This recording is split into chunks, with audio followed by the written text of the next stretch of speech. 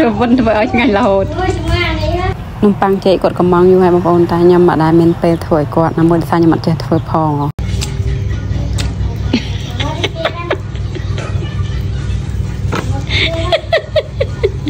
អូមកទីគេនេះបាទខ្ញុំផ្សាយបងប្អូនដោយសាររូបរាងនំបើរូបរាងនំគឺមិនតំណងទេថារសជាតិខ្វន់បន្តិច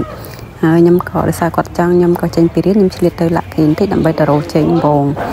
ចេញបងហើយយើងយកមានសកាត់ មានជាមួយនឹងពងទាហើយពងទាហ្នឹងគឺកូនស្រីរបស់ខ្ញុំគាត់ជួយវាយអញ្ចឹងណាគឺគាត់ជួយយើងគ្រប់ចំណុចទាំងអស់អញ្ចឹងទៅគាត់ជួយទៅអីទៅហើយបន្តមកទៀតខ្ញុំប្រើនេះគឺខ្ញុំប្រើជាមួយនឹងស្ករស្ករម៉ង់ហ្វ្រូតបងប្អូនអញ្ចឹងយកស្ករមកវាយជាមួយនឹងពងមាន់អញ្ចឹងនៅពេលដែលវាយហើយបន្ថែមជាមួយនឹងអំបិលបន្តិចយើងវាយវាបញ្ចូលគ្នាហើយខ្ញុំក៏វាយឲ្យវាម៉ត់បន្តិចហ្នឹងបន្តមកទៀតខ្ញុំក៏យកម្សៅ លោកមុននេះគឺដាក់ម្សៅរៀងច្រើនបន្តិចបងប្អូនដោយសារវា350ក្រាមខ្ញុំដាក់ជាមួយនឹង baking powder អាហ្នឹងគឺរែងរួចស្រេចហើយបងប្អូនហើយក៏យកមកវាយជាមួយនឹងអឺផ្នែកទឹកដែលយើងបានលាយជាមួយនឹងពងមាន់ចេកជាមួយនឹងស្ករប៊ីចេកហើយខ្ញុំផ្លេចជាមួយទឹកដោះគោទឹកដោះគោព្រោះយើងដាក់ជាមួយនឹងធ្វើការទឹកដោះគោស្រស់ហើយខ្ញុំក៏ចាប់ផ្ដើមរៀបចំដោយសារយើងអត់មានអាពុំដុតហ៎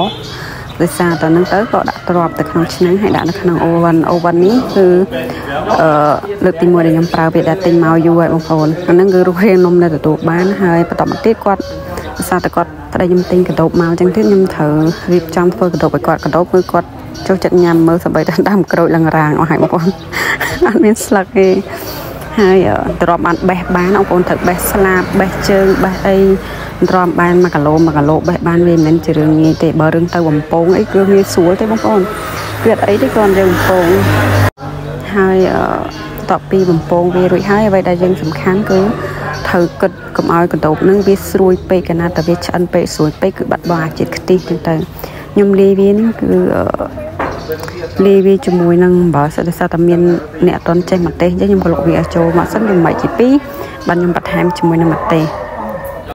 យូរទៅអាកាដូបនេះមានបណ្ណាក៏មិនសល់ដែរបងប្អូនគឺដោយសារតាអ្នកទេសរបស់ខ្ញុំគឺគាត់ចូលចិត្តមែនតែនហ្មងទាំងក្មេងទាំងចាស់ទាំងប្រុសទាំងស្រីគឺចូលចិត្តទាំងអស់គ្នាហ្មងអានោះអានោះម្ទេសនោះម្ទេសណាដែរអ្នកបកខ្លួនឯងញ៉ាំអត់ណា និយាយទៅគាត់ប្រកែកបកកដោបហើយក៏ប្រកែកញ៉ាំដែរ